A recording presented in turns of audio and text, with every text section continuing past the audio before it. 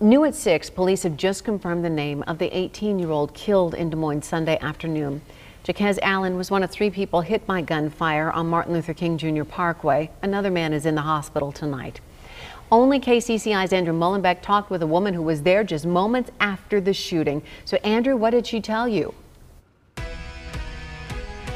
Good evening, Stacy. Neighbors have been telling us that the shooting happened inside the apartment complex here, and what they say is they heard a fight before they heard those gunshots.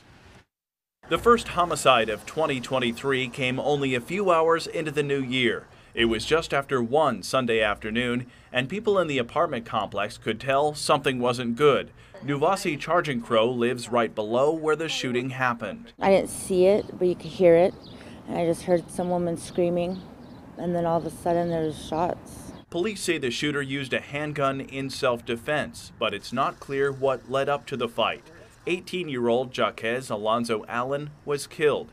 This is a photo police released Monday afternoon. We live like right by where like a lot of it took place and um, when we looked outside there was a man that was laying in front of our truck and wasn't a good sight to see. She says the deadly shooting at this apartment complex is especially difficult with four kids at home.